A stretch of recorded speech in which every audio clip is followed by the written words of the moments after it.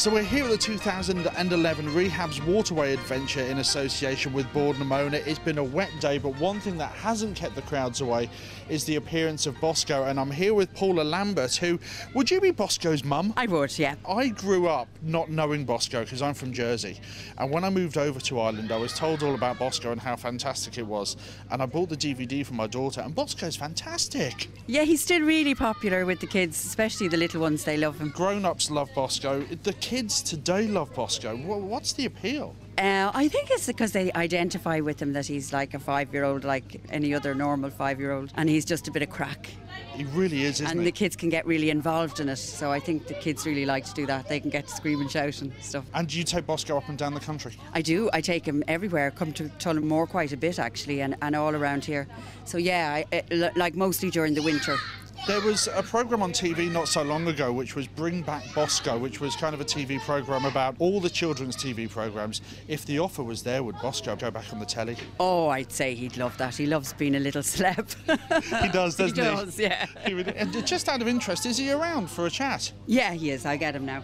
Bosco, come here and talk. Hello. Hello, Bosco. What's your name? My name's Robbie. How are you? Hi, Robbie. I'm Bosco. You were fantastic. The kids absolutely loved you today, Bosco. And I had great fun too. We were playing and playing, and it was cool. Is everything okay? Are you sure?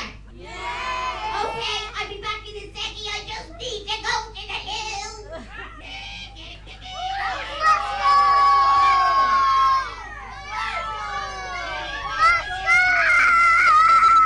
What's the matter? So, is there anything you would like to say to the listeners of Midlands 103?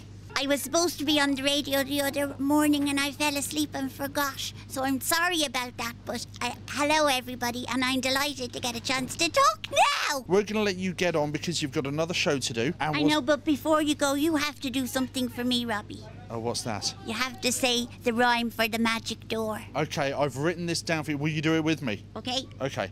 Knock, knock, open wide, see what's on the other side. Knock, knock, any more, come with me through the magic door. And then we'd end up in the zoo.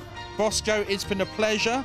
Thank you so much. It's been great to see you. We hope to see you back on the TV soon.